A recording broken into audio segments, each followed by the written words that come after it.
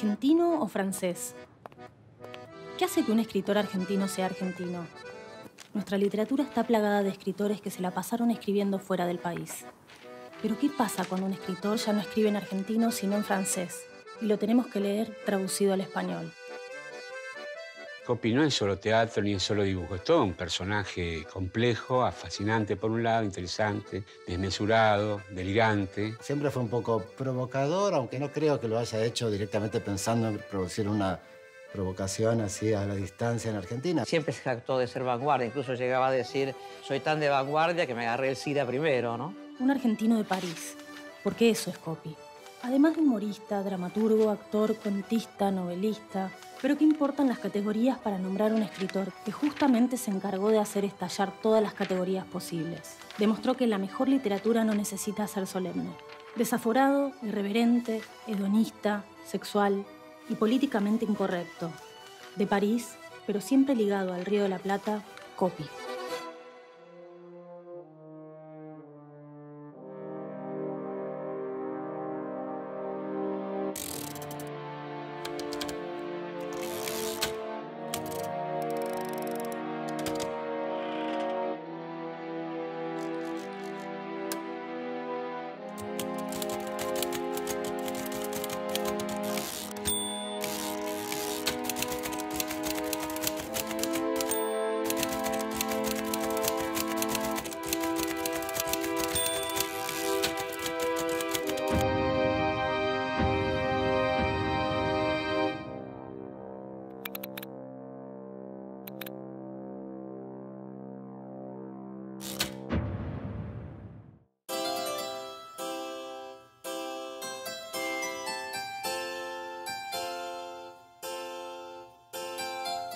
Nació en Argentina, en Buenos Aires, el 20 de noviembre de 1939.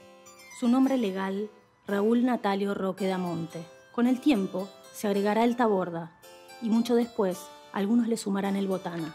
Seguramente para enfatizar el linaje con esa familia donde el periodismo y la política son algo central.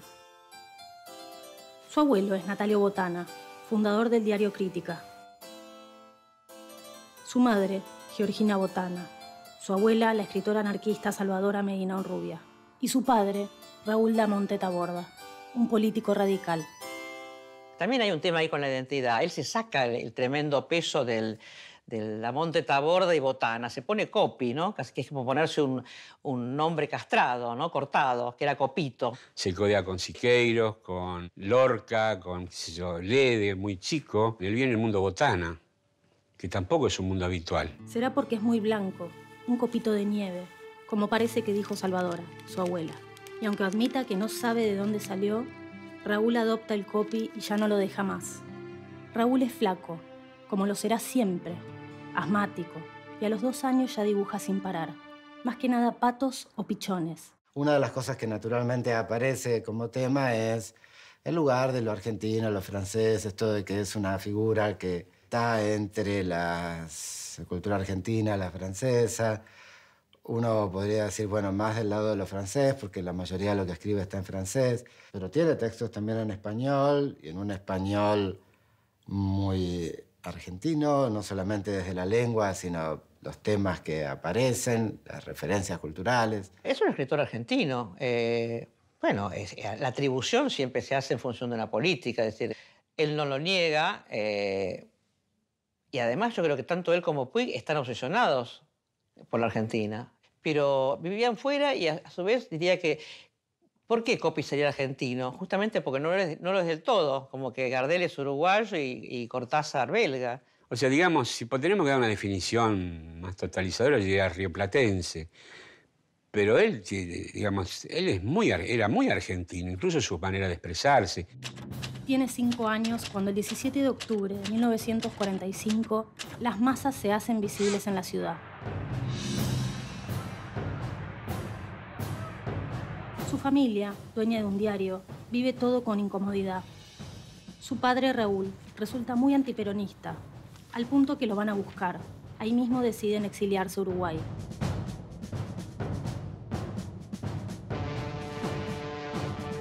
La familia Damonte Botana vive en una casa de techo de paja en Carrasco, con vista al mar. Copy y sus hermanos andan corriendo en la arena o leyendo los libros que hay. A su padre no le gusta el humor de Copy y que siempre prefiere dibujar.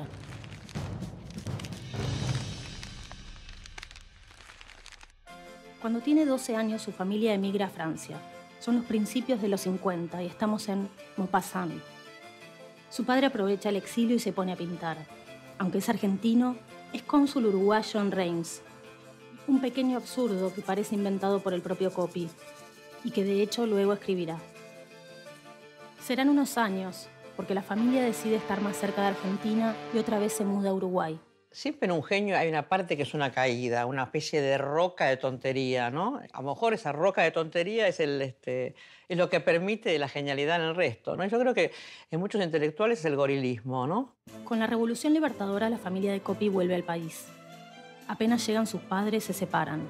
Su madre se hace católica y su padre saca un semanario político llamado Resistencia Popular. Copy tiene 16 años y lo que hace es dibujar.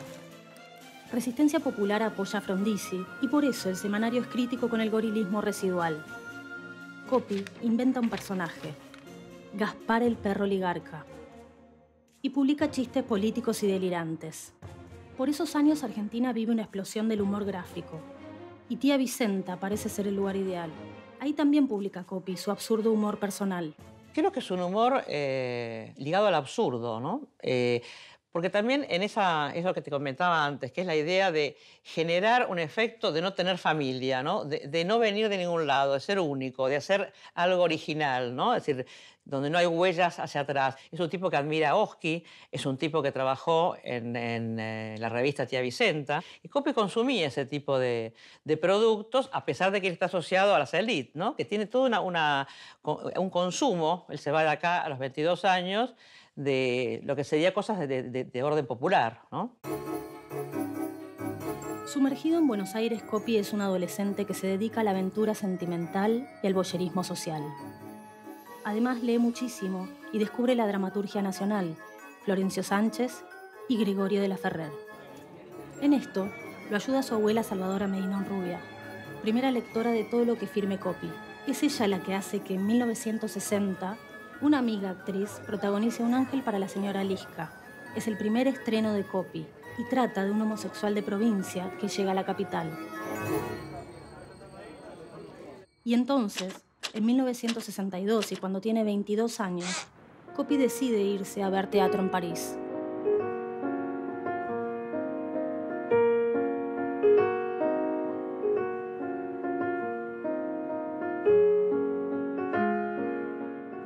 A comienzos de los 60 y en Francia algo se empieza a gestar.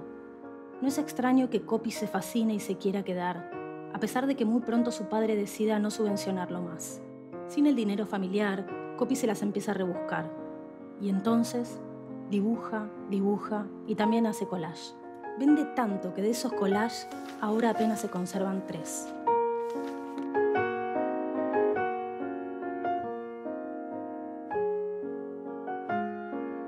Comienza sobre todo escribiendo y publicando dibujos, entre otros los conocidos de la serie La Mujer Sentada, que después fue usado también para obras de teatro, no por el mismo, pero fue punto de partida para otras cosas. Por un lado, porque bueno, fue su modo de insertarse y de vivir allá, y porque necesitaba menos uso del francés, que fue, que fue mejorando con el tiempo. Recorre restaurantes de Maupassant o a los cafés de Saint-Germain-de-Prés. Y en el Café de la Flor, una mujer se maravilla con sus trabajos y lo recomienda en una publicación.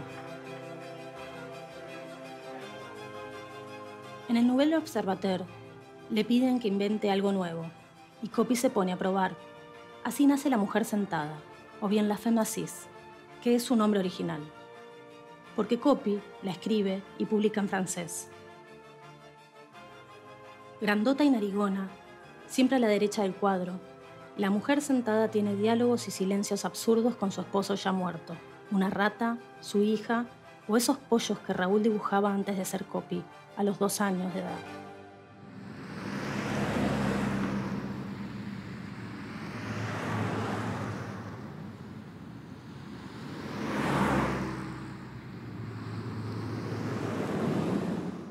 Para 1966, una editorial recopila las tiras y las ventas son un montón. Copy recibe un premio de humor negro y La Fema Cis se edita en España, Italia, Dinamarca y Estados Unidos. Es decir, la, mujer sentada conserva los diálogos que, Copy usa también en sus obras de teatro. La Torre de la Defensa, por ejemplo, Michelin dice, ¿cómo te, cómo te gusto? Eh, ¿Como hombre o como mujer? Y eh, le responde, como, como hombre con anteojos, como mujer con peluca. Bueno, eso, eso, es, eso es divertido, eso es, fácil de leer también, ¿no? Es decir, llega inmediatamente. O una, una estira de la mujer sentada en que viene el pollo y le dice a la mujer sentada, no acuerdo, como te dijera, eh, pachaca, eh, acabo de inventar una palabra. ¿Quiere decir algo? No. Bueno, entonces sí, la acabo de inventar. Entonces la mujer sentada le dice, yo también inventé una palabra. ¿Cuál? Pie. El pollo le dice, pero pie es una palabra muy vieja. Ah, que la inventé cuando era chica. Bueno, me parece que ese, diálogo que no es de remate, no es agresivo, no, es como con, gran efecto de risotada, ¿no? Y que un poco siempre desplaza lo que vos venís esperando, es muy, muy agradable de leer. Aparte de esto que es una verdadera vacuna contra toda ilusión de, la identidad, de lo que está fosilizado, la idea de patria, la idea de género, de vida útil, es decir, todo lo devuelve, ¿no? Y la mujer sentada, que es una mujer brutal, ignorante, sin ningún pudor, que dice las cosas que se le ocurren, bueno, ese es, digamos, podemos decir que, bueno, eso está en el mundo copy, pero los personajes de sus obras de teatro son brutales, si cabe la palabra, son desmesurados. No todos, ¿eh? donde la, idea de comedia y tragedia es, como una especie de sociedad permanente, ¿no? Y sí, La Fema sí se publica en una sociedad vieja que cruje, como la convulsionada París. Y mientras tanto, ¿qué pasa en la Argentina? En 1968, Jorge Álvarez, el primer editor de Mafalda, publica Los pollos no tienen sillas. La traducción es del propio Copy, del que por acá apenas algunos se lo acuerdan de tía Vicenta. Otros saben que vive en París y algunos pocos comentan por lo bajo que es homosexual. Primero que él tenía muy clara su condición de homosexual. Él decía muy claramente que se travestía en el escenario, pero él era un, hombre, un señor, un, un, varón. Eso define una actitud frente a la vida. Y esto no lo digo en términos morales, sino como conducta, digamos. ¿no? Copy dice que es algo que es equivalente a un deporte, a ver teatro. O sea, no, no, pone el, tema de la injuria o de la discriminación. No hay que olvidar que la razón por la que Copy viajó a París era más que nada teatral. Sin embargo, los primeros años, como si no le interesara, no escribe ninguna obra y se dedica a dibujar.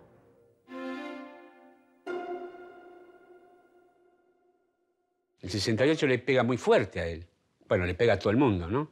Pero en su teatro aparece, aparece una cosa distinta, a todos. Él, era, muy, era muy sensible, no era un, ajeno al, mundo político, a, las necesidades. además, él tenía mucha discusión, incluso discusión, digo, en el sentido que él no compartía muchas cosas que vivía en Francia. Lo que pasa es que él se sentía cómodo. Él decía, quédate acá y vas a ver que la vas a pasar, vas a vivir bien. Vivir bien quiere decir, vas a poder hacer lo que querés y nadie te va a joder hasta que a mediados de los 60 descubre y se queda pegado con la vanguardia teatral. Conoce a Jorge Labelli. También se le agarra el vicio de actuar y así empieza en París su camino teatral. Se montan sus primeras obras, algunas son sketches, otras experimentos que no son happening, pero que podrían ser. Después del estreno de La Jornada de una Soñadora, termina una obra más. Mantiene el espíritu de la vanguardia y está escrita en francés, pero se mete con uno de los grandes mitos de masas que Copy, de niño, conoció en nuestro país. Bueno, el teatro, teatro de, de Copy tiene una marca fuerte inicial del teatro de vanguardia francés, de los años en los que él estuvo. Tiene esa cosa teatro de vanguardia con, con, una, con un peso muy fuerte en, la, en una performance, a veces con poco soporte textual y a veces con mucho. En realidad las obras, la mayoría de las obras de teatro que hace Copy fueron prescritas por él y era, respetaba su propio, su propio texto. A comienzos de la década del 70, Perón está exiliado en Madrid y el peronismo en un ascenso que lo devolverá al poder en 1973. Y por más que Copy piense que su Eva Perón apenas puede interesar a los vanguardistas de París, la cosa estalla. El diario de derecha francés Le Figaro la trata de pesadilla carnavalesca. Los argentinos que como Cortázar viven en París la critican a más no poder. Y esta obra de una evita con cáncer terminal sufre una explosión que destroza parte del decorado y atrae custodia policial. Ahora sí se habla de copia en nuestro país. No es que se monte la pieza teatral. De hecho, la traducción se hará décadas después. Es que la obra es repudiada por todos. Sin verla, hablan mal. Algo que, que en realidad también alteró, fue importante en esta relación de él con Argentina en esos años, fue que representó una Eva Perón en París, que, en la que fue, por la que fue odiado por eh, sobre todo la derecha peronista y por lo que mereció un atentado, o sea, en imagen de un grupo de transformistas, de performers en un teatro de París recibiendo un atentado, un grupo de derecha peronista, entonces están vestidos, travestidos como Evita y, y los otros personajes. Acá pondría un poco el, el énfasis en, en, el equívoco Evita, ¿no? Porque una gran crítica ¿no? con, con, la representación que él hizo de Vaperón y, y, aparte porque la representaba un hombre, ¿no? Y en realidad yo pensaba, ¿no? Es decir, un mito peronista es este, que, que, era el hombre de la pareja, Evita, ¿no? Y de pronto cuando aparece representado por un hombre se arma un escándalo, ¿no? Y al mismo tiempo pienso que que la represente un hombre es una manera de salvar a Evita, porque eh, no puede morir de un órgano que no tiene, puesto que es un hombre, ¿no? Si no, no tiene matriz el que representa. Digo, también hay algo ahí de, de, mensajes subliminales de copy, ¿no? Pero que no me parece que sean para, para generar una reacción que en el fondo me parece que es una lectura de Eva eh, muy peronista. Si bien la Argentina tiene problemas con él, Copy no parece tener muchos apuros con el país. Nacido en Buenos Aires, criado en Francia y Uruguay, y con abuelos de orígenes variados, a Copy le importa un cazzo nuestro ser nacional, o bien tiene su forma propia de argentinidad. Escribe y estrena en francés. Si le insisten, se define como un argentino de París. Además, ¿por qué fantasear con volver? Tampoco son los mejores años de nuestro país para ser creativo y abiertamente homosexual. Y paralelamente Argentina fue teniendo eh, el derrotero político que todos conocemos, con la sucesión de, dictaduras, Onganía, después el periodo de, del tercer gobierno de Perón, que, no, que sabemos no, no, daba como mucho espacio el clima cultural para, la obra de Copy. Algo que después, bueno, por supuesto, la dictadura militar, ¿no? En ese París que late movimientos de liberación sexual, Copy vive en un quinto piso de Pigalle, un barrio en el que se mezclan inmigrantes, turistas, que de día pasan rumbo a Sacré-Cœur y de noche buscan sexo en sus cabarets y gays, travestis y yonkis de ronda por diversión. Sobre esa efervescencia se ocupa Copy, en sus cuadernos con espiral. Dibuja o escribe, en la página derecha y usa la izquierda para corregir. Pero en sus obras, Copy no busca el retrato de un submundo social, más bien se mete con delirio, humor, en las grietas de la burguesía, la moral, la convención familiar.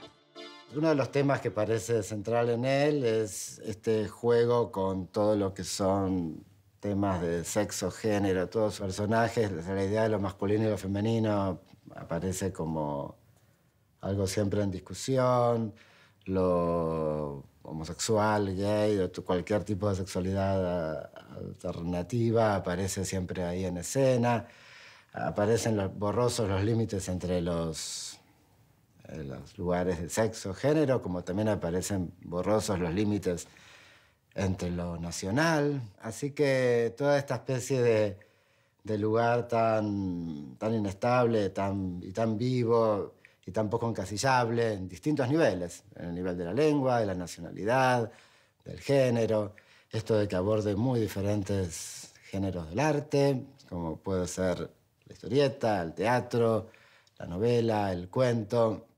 Ahí está su obra, El homosexual, que transcurre en Siberia. Las Cuatro Gemelas, La Pirámide o La Torre de la Defensa.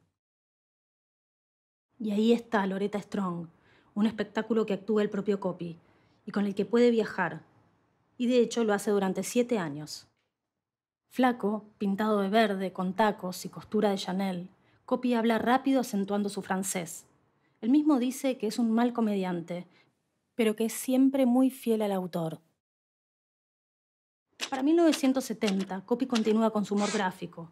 Publica chistes en Charlie, ha terminado La mujer sentada y publica su prosa por primera vez.